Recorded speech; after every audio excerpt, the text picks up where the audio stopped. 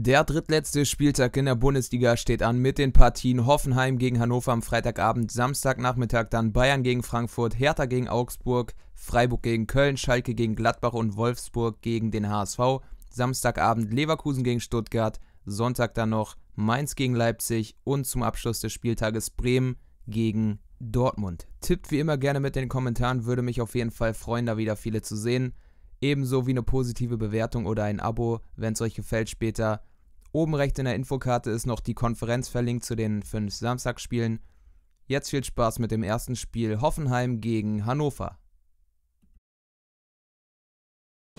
Die TSG aus Hoffenheim hat mittlerweile nur noch zwei Punkte Rückstand auf den vierten Platz, also auf die direkte Champions League Qualifikation. Da steht momentan noch Leverkusen doch gegen Hannover sollte es am Freitagabend zumindest punktetechnisch erstmal dran vorbeigehen. Die Leverkusen haben natürlich noch die Chance, das dann wieder auszugleichen. Hannover hat den Klassenerhalt so gut wie sicher und nichtsdestotrotz gilt es heute nochmal alles reinzuwerfen, denn die theoretische Chance auf den Relegationsplatz abzurutschen, die besteht noch. Hoffenheim hat hier den besseren Start und Marc Uth nach vier Minuten mit der ersten Möglichkeit, der senkt sich ganz gefährlich der Kopfball setzt sich dagegen Sané durch, der ja ab der nächsten Saison nicht mehr bei Hannover auflaufen wird. Aber Schauner sieht, dass er hier nicht eingreifen muss. Doch die Partie dominierte klar der Gastgeber. Die Elf von Julian Nagelsmann sehr gut aufgelegt nach dem überragenden Spiel gegen Leipzig. Es fehlte noch das Tor Serge Gnabry hier mit einem zu schwachen Abschluss. Eine halbe Stunde jetzt knapp gespielt, auch die Gäste wagten sich mal nach vorne. Bebu ist das über die rechte Seite, hängt da Nordfight ganz locker ab und dann ist Füllkrug zur Stelle. 0-1, wie aus dem Nichts, aber das dürfte die Elf von André Breitenreiter kaum kümmern. 29. Spielminute. Die Niedersachsen waren in Führung an diesem Freitagabend. Der erste Torschuss auf das Gehäuse von Oliver Baumann bedeutete gleich den ersten Treffer für die Elf von André Breitenreiter, wo trotz einer sehr guten Saison das Sportliche immer wieder aus dem Fokus gerückt wurde und nichtsdestotrotz muss man da einfach ein Kompliment an die Mannschaft machen. Aber Hoffenheim war hier nach wie vor die bessere Mannschaft. Nach 43 Spielminuten wird Schauner wieder getestet. Amiri es wäre schon lange überfällig gewesen, das 1:1 zu erzielen. Sie konnten die Vielzahl an Chancen jedoch noch in keinem einzigen Moment ausnutzen. Der zweite Durchgang bot uns erstmal ein ähnliches Bild. Hoffenheim mit den Offensivaktionen. Zuber eingewechselt auf Demir bei. Auch der ist reingekommen zur Pause. Nagelsmann war mit dem Resultat nicht zufrieden und Demir bei hat hier die hundertprozentige Möglichkeit. Ist vielleicht ein Tick zu dicht vor Schauner. Trotzdem, der muss sitzen. Doch jetzt nach einer gespielten Stunde, Hoffenheim erhöhte weiterhin den Druck und Hannover konnte sich nur noch schwer befreien. Kramaric, guter Einsatz. Serge Gnabry auf Ut und der macht den Ausgleich. Hochverdient sein 15. Saisontor, auch gegen Leipzig ein überragendes Spiel abgeliefert. Und hier trifft er wieder. Er wird ja den Verein zum Ende der Saison ebenso wie Sané in Richtung Gelsenkirchen verlassen. Das wird ein herber Verlust, das wird schwer aufzuarbeiten sein, ebenso wie Serge Gnabry. Aber hier spielen sie nochmal richtig stark auf. Schaunas chancenlos aus kurzer Distanz. Ist zwar noch mit den Fingerspitzen dran, aber mehr als eine kleine Richtungsänderung konnte er nicht bewirken. Doch dann wachte auch Hannover wieder auf. Sie wollten Post wenden, den Führungstreffer wieder erzielen und wieder ist es Füllkrug. Doch Baumann ist diesmal zur Stelle, kann endlich mal mit einer Parade seine Qualität zeigen. Und vor dem Ende dann nochmal Hoffenheim. Auch sie spielten hier auf den Dreier. Es war zum Ende hin nochmal eine offene Partie. Der letzte Abschluss saß aber auch nicht. Hoffenheim und Hannover trennen sich im Endeffekt mit 1 zu 1. Und für die Hoffenheimer ist das ein Rückschlag im Kampf um den vierten Tabellenplatz. Der FC Bayern München ist trotz der schon feststehenden Meisterschaft nach wie vor gewillt, in jeder Partie alles zu geben, in jeder Partie drei Punkte einzufahren. Frankfurt braucht die aber durchaus ebenfalls, denn sie wollen noch in die Europa League, beziehungsweise sie wollen dort bleiben. Aber es lief direkt zu Beginn alles gegen die Gäste. Sebastian Rudi bereits in der vierten Spielminute mit dem Führungstreffer für den FCB. Das ging zu einfach, die Frankfurter noch nicht richtig auf dem Feld. Erstes ist Wagner, der Radetzky testet und Rudi steht dann am zweiten Pfosten viel zu frei und muss den Ball nur noch über die leere Linie drücken. Hatte ja auch gegen Hannover ein Tor erzielt. Aber Frankfurt kam dann auch mal nach vorne, weil sich Boateng dort extrem verschätzt. Sven Ulreich greift allerdings ein und pariert den Ball ohne größere Probleme. Jovic war derjenige, der den Ball aufs Tor gebracht hat. Aber wie gesagt, Starke Parade von Ulreich. Zweiter Durchgang dann. Bayern weiterhin die bessere und spielbestimmende Mannschaft. Robert Lewandowski nach 51 Spielminuten fast mit dem 2 zu 0. Frankfurt lief viele Zeit nur hinterher. Aber gegen den FC Bayern muss man auch erstmal bestehen. Es stand ja nur 1 zu 0, dadurch die Möglichkeit auch da noch einen Punkt mitzunehmen. Aber Bayern war zu drückend als dass Frankfurt wirklich viel nach vorne bringen konnte. James Rodriguez nach 56 Spielminuten. Hier verpasst er noch den 2 zu 0 Führungstreffer. Doch der sollte dann nur wenig später kommen. 74. Spielminute. Rodriguez von Robben bedient, macht das super. Legt den Ball um den Verteidiger herum. Siebtes Saisontor. Und damit war auf der Partie der Deckel drauf. Eine souveräne Leistung des Rekordmeisters bringt hier wohl den nächsten Sieg ein. Weil das extrem stark von Rodriguez gemacht ist, das muss man ihm lassen. Legt den Ball um Fallett rum, der nach Sperre wieder dabei war. Beziehungsweise Mascarell ist es in diesem Fall, der hinterher schaut. Und so dann eben der nächste Treffer. Aber Frankfurt kam nochmal nach vorne. Barkok diesmal testet er Ulreich, aber der wird auch dieses Spiel wieder zu null spielen. Der FCB setzt sich also souverän an einem Samstagnachmittag gegen Frankfurt mit 2 zu 0 durch. Und bei denen wird es, was die Europa League angeht, noch deutlich enger, besonders wenn Gladbach in Gelsenkirchen gewinnen sollte. Eine Partie, in der es für beide Teams nur noch um gute Ergebnisse und nette Partien geht. Beide Teams bereits am letzten Spieltag sicher gerettet. Selbst die Relegation kommt nicht mal mehr rechnerisch in Frage. Die erste Möglichkeit, die wirklich Gefahr bieten konnte, kam von Marco Richter in der 37. Spielminute. Aber die erste Hälfte war extrem langweilig und langwierig. Ein typisches Spiel im Olympiastadion, was die Fans in der Ostkurve schon so häufig ertragen mussten. Gegen Freiburg gegen Wolfsburg jeweils 0-0 gespielt. Jetzt waren sie aber kurz davor, sogar das 0 1 zu kassieren. Gregoritsch nach der Pause mit dem Aluminiumtreffer. Auf der anderen Seite dann kam Hertha auch mal zu einer Möglichkeit. Marvin Plattenhardt mit einem vernünftigen Freistoß. Jedoch fehlte dann das nötige Quäntchen Glück. Ansonsten wäre Hitz gegebenenfalls auch zur Stelle gewesen. Aber die Augsburger waren hier die bessere Mannschaft und kamen über einen langen Ball von Kajubi zu Heller, der den direkt weiterleitet auf Cordova zum ersten Treffer der Partie. 65. Spielminute, das zweite Saisontor für Sergio Cordova. Starkes Spiel von Augsburg auch am vergangenen Sonntag gegen schwache Mainzer. Und wieder lieferten sie eine vernünftige Partie ab. Sehr stabil. Sie verhinderten die Hertha zum größten Teil. Und als Auswärtsmannschaft, wenn man dann so eiskalt ist, kann man damit deutlich zufriedener sein als eben die Gastgeber, die jetzt diesen 0 zu 1 hinterher liefen. Sie kam aber nochmal. Esswein, 84. Minute und Kaluda nochmal mit dem Abschluss. Aber das sollte auch in dieser Situation nicht zum Treffer führen. Die Hertha wurde jetzt zum Ende hin aber nochmal wach. Wieder Kalu, nur wenig später. Darida auf Sek und der Abschluss von Cielbrett. Da fehlt wieder ganz wenig. Hätten sie, so wie sie in den Schluss 10 Minuten circa gespielt haben, von Anfang an gespielt, dann wäre hier auch ein Sieg drin gewesen. Doch auch die letzte Möglichkeit in der Nachspielzeit von Darida wird pariert. Marvin Hitz hält den Sieg für Augsburg fest. Damit ein über die 90 Minuten gesehen auch verdienter Auswärtssieg für die Gäste, weil der Sportclub aus Berlin zu spät angefangen hat, Fußball zu spielen.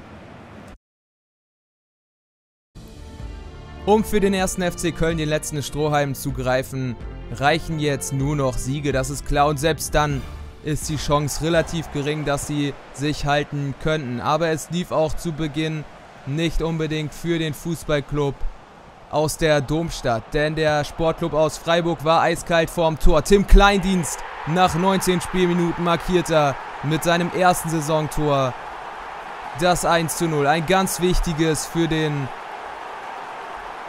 Breisgauer Anhang und für den Verein. Für die Region essentiell, dass der Sportclub erstklassig bleibt. Nach dem enttäuschenden 1 zu 0 in Hamburg wollte man jetzt auch wieder mal Punkte einfahren mit dem Tabellenletzten aus Köln. Schien ein Gegner gekommen zu sein, den man in der Lage ist zu schlagen. Nach einer Stunde dann im zweiten Durchgang, denn viel mehr gab diese Partie im ersten Durchgang einfach nicht her. Dann auch mal die Kölner. Starker Gegenangriff. Aber Kempf kommt gerade so noch vor Jean Cordoba angegrätscht. Und verhindert den 1:1 Ausgleich. Aber Köln wurde stärker. Hector, der ja verlängert hat. Super Zeichen von seiner Seite aus. Und Cordoba wird von ihm bedient. 65. Spielminute. Alexander Schwolo greift ein, lenkt den Ball gerade so über die Latte. Hätte sich eventuell reingesenkt. Da geht der Freiburger Schlussmann auf. Nummer sicher. Doch viel mehr kam vom ersten FC Köln nicht. Freiburg dann 20 Minuten vor dem Ende wollten sie auch die Entscheidung dann erzielen. Janik Haberer auf Mike Franz. Der nach Verletzungspause auch zu Hause mal wieder ran konnte. Hat ja gegen Hamburg mal wieder Bundesliga-Luft schnuppern können. Hier kratzt er haarscharf am Tor vorbei. Horn wäre ohne Chance gewesen, aber der Sportclub kam nochmal 10 Minuten später. Mike Franz sehr aktiv und Tim Kleindienst nochmal.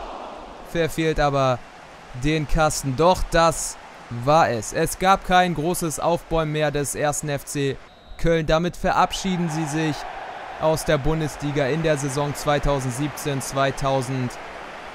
Und der Sportclub aus Freiburg hingegen kann mit diesem 1 zu 0 wieder darauf hoffen, den direkten Klassenerhalt zu sichern. Und für den ersten FC Köln ist es einer der unnötigsten Abstiege, die sie vermutlich je verlebt haben.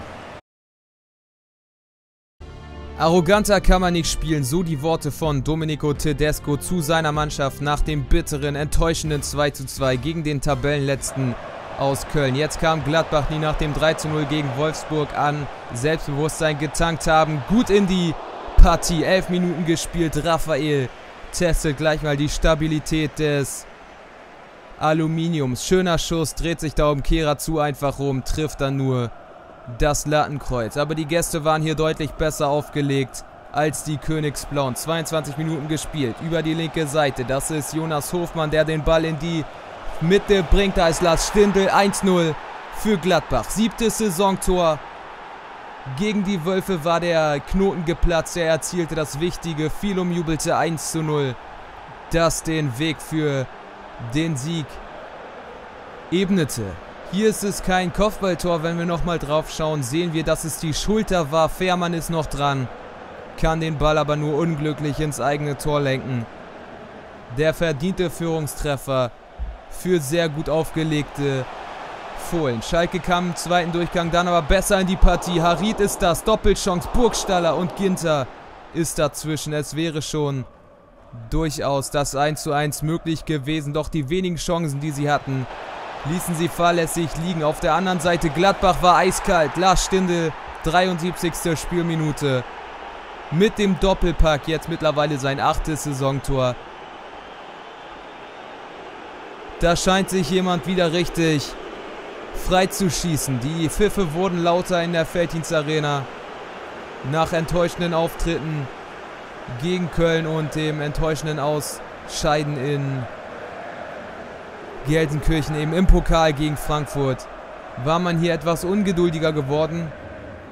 Und Lars Stindl ist mal derjenige, der so richtig in die Suppe spuckt. Viertelstunde vor dem Ende, es wäre ja noch Zeit genug da gewesen, um das Resultat nochmal zumindest auf Remis zu stellen. Doch die Treffer wollten nicht rein. Nochmal in der Nachspielzeit sinnbildlich dann Kono Plianka. Den muss er machen aus einem Meter Torentfernung bringt das zustande, den Ball über das Tor zu schießen. Aber das bewies dann im Endeffekt auch, dass die Königsblauen heute nicht gut aufgelegt waren. Borussia Mönchengladbach schießt sich eben auch, weil Frankfurt gegen Bayern verloren hat, auf 46 Punkte an die Frankfurter heran. Sind jetzt punktgleich, nur noch das Torverhältnis müssen sie aufholen und dann ist sogar wieder die Chance da, nächste Saison vielleicht doch noch europäisch zu spielen. Der Abstiegskracher schlechthin an diesem Spieltag lautete VfL Wolfsburg gegen den Hamburger Sportverein und der HSV durch das 1:0 gegen Freiburg wieder im Rennen. Doch die bessere Anfangsphase hatten die Wölfe. Basoer mit der Vorlage auf die Davi. Das ging zu einfach. Neuntes Saisontor für den Mittelfeldspieler. Zwölfte Spielminute. Und die Gastgeber waren in Führung. Unter Bruno Labbadia noch nicht wirklich spielerisch nach vorne gekommen. Auch im Verein gibt es Unruhen, doch jetzt soll erstmal der Klassenerhalt gerettet werden. Und das ist jetzt mal der erste gute Schritt, der dafür getan wurde. Die Davi, das ging zu einfach. Die Hamburger zeigten ihr Auswärtsgesicht. Pollersbeck war bedient. Doch dann kam auch der HSV. Aber sie lagen eben schon 1 zu 0 hinten. Die erste Möglichkeit in Richtung des Tores kam erst nach zu lang absolvierter Spielzeit. Ito ist das mit dem Kopfball. Der Ball geht aber über das Gehäuse rüber. Doch sie wurden jetzt stärker. Die in rosa spielenden Hamburger Waldschmidt. Jeckel, der Innenverteidiger, der so ein bisschen die Hoffnung beim VfL darstellt. Hält das Bein rein und verhindert so den Torschuss. Der HSV war über den ersten Durchgang komplett gesehen die bessere Mannschaft. Doch Wolfsburg war eiskalt und kam sogar noch zum 2 zu 0. Nachspielzeit der ersten Halbzeit. Yunus Mali macht das 2 zu 0. Und für den HSV stellte sich das jetzt als eine extrem schwere Ausgangslage für den zweiten Durchgang. Da, für Pollersbeck ist da nichts zu halten. Sie verteidigten da zu fahrlässig. Jung grätscht zu spät rein. Und so steht es daneben. 2 zu 0. Und eigentlich müsste hier ein Sieg her. Und der HSV glaubte dran. Bakary Yatta mit der Flanke und Wood testet Castells. Und dann ist der Ball geklärt. Ein früher Anschlusstreffer würde die Wölfe nervöser machen und die HSV-Fans wieder auf die Seite bringen. Doch auch Ekdal scheitert nach einer knappen Stunde daran, den Ball über die Linie zu drücken. Das waren herausragende Möglichkeiten. Aber sie probierten es, doch schafften es schlicht und ergreifend nicht. 20 Minuten vor dem Ende, die Zeit lief weg und Dimata dann fast mit der Entscheidung im kurzen Eck ist Pollersbeck allerdings zur Stelle, kratzt den Ball aus dem Winkel und so weiterhin nur 2 zu 0, doch der HSV brauchte drei Tore und das in einer Viertelstunde dürfte schwierig werden. Und dann auch das zum Abschluss dieser Partie nochmal. Sinnbildlich, wie Bobby Wood diese hochprozentige Chance fast verschludert, sehr leichtsinnig vergibt.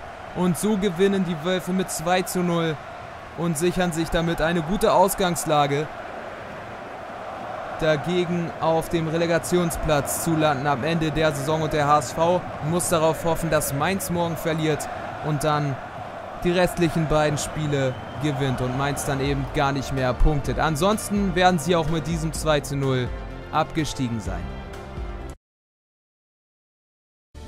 Das letzte Topspiel der Saison lautete Leverkusen gegen Stuttgart und man muss schon sagen, dass beide Teams in den vergangenen Wochen und Monaten durchaus auf sich aufmerksam machen konnten. Bei Leverkusen scheint so ein bisschen gerade der Schlendrian drin zu sein. 2 zu 6 gegen Bayern, da war es spielerisch noch okay. Aber dann beim 4 zu 0 in Dortmund wiesen sie zu viele Schwächen in der Defensive auf. Die Stuttgarter konnten sich mit dem 2 zu 0 gegen Bremen bereits am 31. Spieltag zum Klassenerhalt retten. Die Partie hier lief aber besser an für die Gastgeber. Schalzarengis, 19. Spielminute, zweites Saisontor für den Sechser von Leverkusen. Heute mit der Kapitänsbinde, weil Jonathan Tah und Lars Bender fehlen. Ebenso wie Bernd Leno, der durch Özkan ersetzt wurde. Also das 1 zu 0 von Charles. Ron Robert Zieler wird da chancenlos zurückgelassen.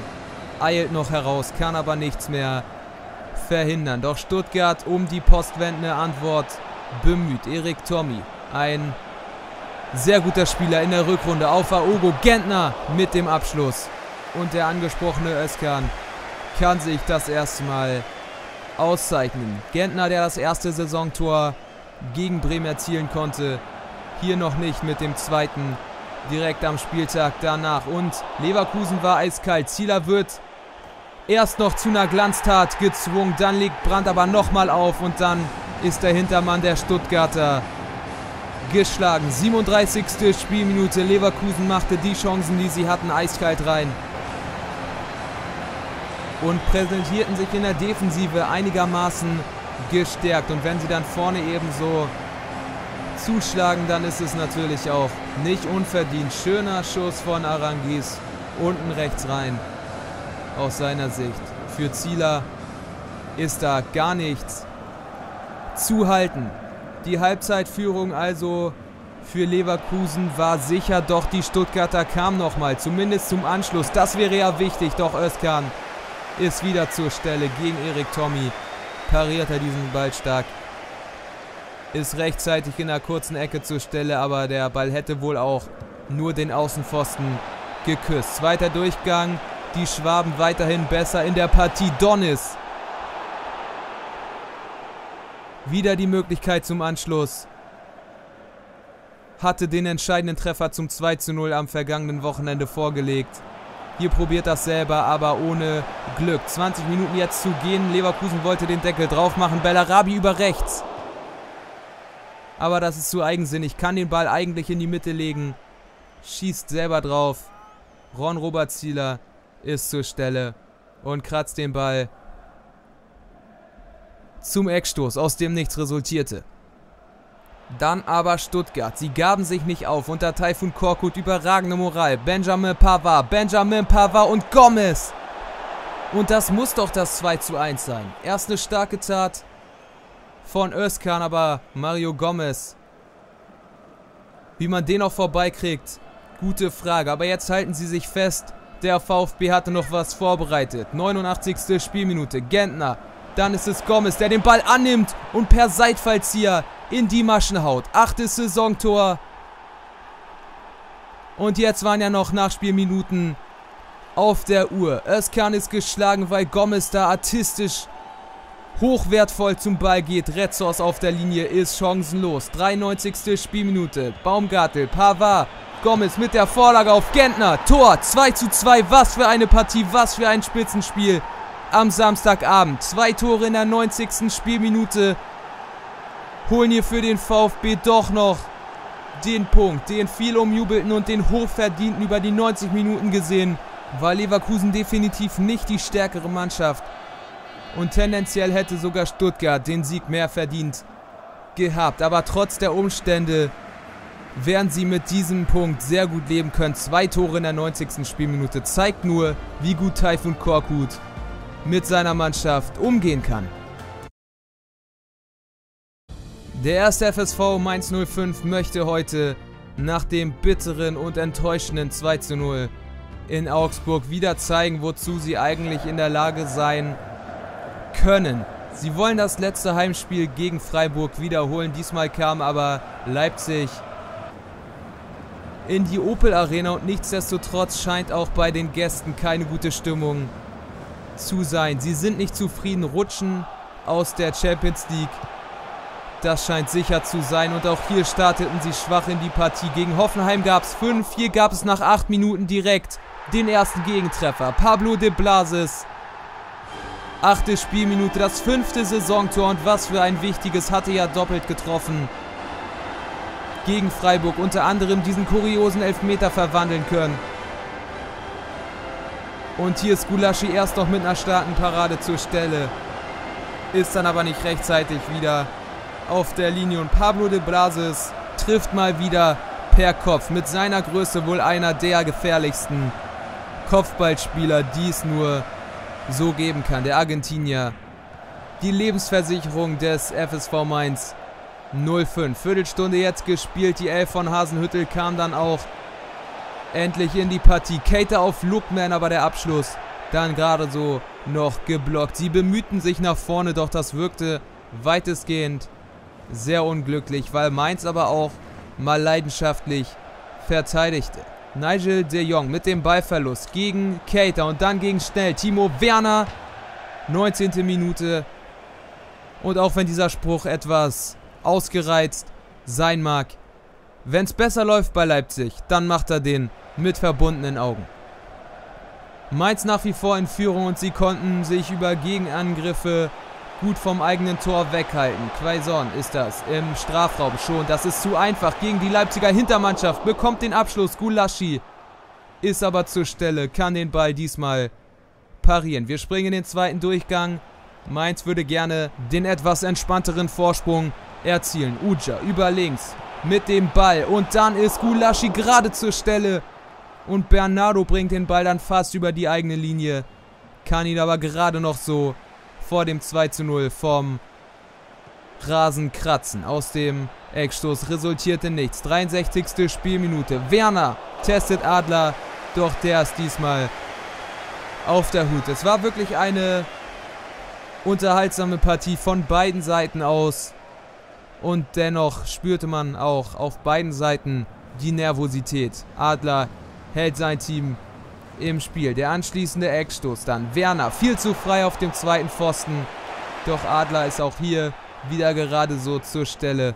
Der hätte gepasst. Und das 1 zu 1 wäre für Mainz ein erheblicher Rückschlag gewesen. Aber sie kamen dann auch weiter nach vorne, mauerten sich nicht hinten ein. Das war die richtige Taktik. Denn irgendwann würde man unter dem Druck einbrechen. Deswegen wäre es wichtig, das Resultat so lange wie möglich zu halten. Und sie schafften es tatsächlich. Sie gewinnen am Ende 1 zu 0 gegen Leipzig, retten dieses Resultat über die Spielzeit durch die Niederlage des HSV in Wolfsburg, steht dann fest. Direkt können sie nicht mehr absteigen, wollen jetzt aber auch alles Mögliche tun, um auch nicht in die Relegation zu müssen. Zwischen Werder Bremen und Dortmund konnte man eine spannende und spielerisch sehr hochwertige Partie erwarten zum Abschluss des 32. Spieltages und damit auch der letzten Sonntagspartie der Saison 2017-2018. Junusovic wird in der nächsten Saison wegbrechen. Ein herber Rückschlag. Heute war er über links außen, aber noch im Startaufgebot zu finden. Und Dortmund nach dem starken 4 zu 0 gegen Leverkusen hatten sie wieder Selbstbewusstsein und wir stellten uns auf eine gute Partie mit vielen Möglichkeiten ein und es wurde direkt zu Beginn gefährlich. Piszczek haut sich den Ball da fast selber rein, legt ihn an Birki vorbei, aber kriegt ihn noch rechtzeitig aus der Gefahrenzone entfernt. Dann kam Dortmund. Nach 13 Minuten Götze erst von Gebre Selassie gestört, doch Weigel macht den Ball wieder heiß. Wird dann nicht gut genug angegriffen. Weigel, schöner Ball auf Philipp Tor. 0-1, 14. Spielminute. Der BVB führt mit 1 zu 0.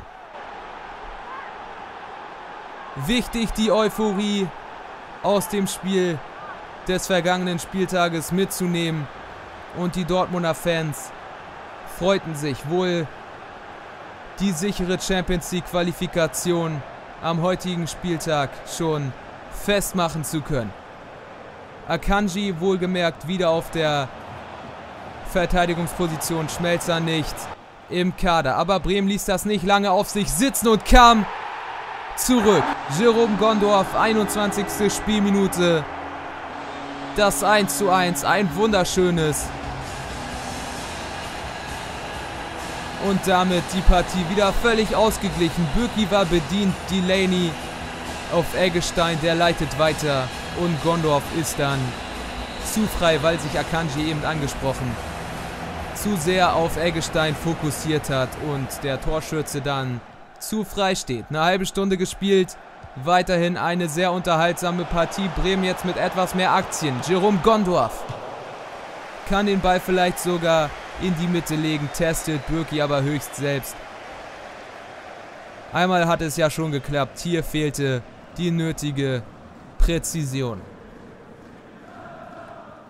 Aber Bremen kam weiter und vor der Pause nochmal die Möglichkeit. Jerome Gondorf, überragendes Spiel, bringt den Ball auf den zweiten Pfosten und Ishak Belfodil mit dem 2 zu 1. Die Partie war gedreht, das fünfte Saisontor beschert den Führungstreffer für Werder.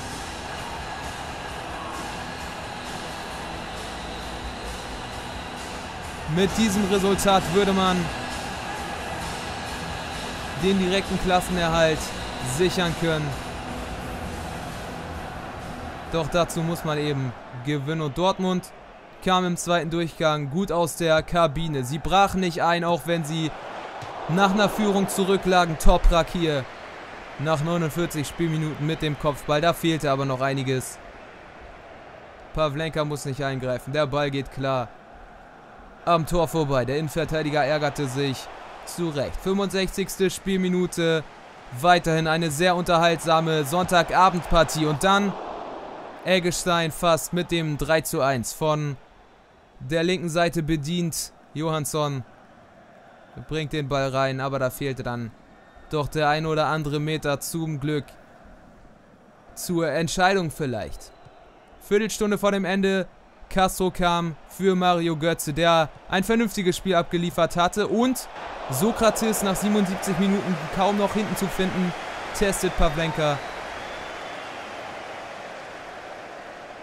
Aber der ist erstmal zur Stelle und verhindert den 2:2 Ausgleichstreffer. Doch Dortmund spielte weiter leidenschaftlich und kam nochmal zu einem Eckstoß. 87. Minute. Reus mit dem Eckstoß und da ist Andrei Jamolenko. Ausgleich. 2:2, 87. Minute. Der Endpunkt in einer überragenden Bundesliga-Partie zweier Mannschaften, die tollen Fußball bieten konnten. Für Bremen wird es im Endeffekt etwas ärgerlich sein, den späten Ausgleich noch kassiert zu haben. Doch es wird vermutlich der Stolz über eine starke Bundesliga-Partie überwiegen. Bremen und Dortmund trennen sich leistungsgerecht mit 2 zu 2 und läuten damit das Ende der Bundesliga-Saison 2017-2018 ein, wo dann alle Partien am Samstagnachmittag um 15.30 Uhr abgehalten werden. Und hier seht ihr nochmal im Überblick alle Ergebnisse der Prognose und meine Tipps darüber. Wenn es euch gefallen hat, würde ich mich über eine positive Bewertung oder ein Abo oder auch über beides freuen. Tippt wie immer gerne mit in den Kommentaren, würde mich auf jeden Fall auch wieder freuen, da euch ordentlich zu lesen. Ich lese mir das immer alles durch, keine Sorge. Oben in der Infokarte könnt ihr gerne abstimmen, ob ihr ein WM-Tippspiel haben wollt, wenn ihr darauf Bock habt. Stimmt mit Ja ab. Ansonsten, ja, viel Spaß mit der Bundesliga. Wir sehen uns am Samstagmorgen wahrscheinlich mit einem Livestream. Würde mich auf jeden Fall freuen, wenn ihr dabei seid. Viel Spaß mit der Bundesliga. Wir sehen uns bis dann und ciao.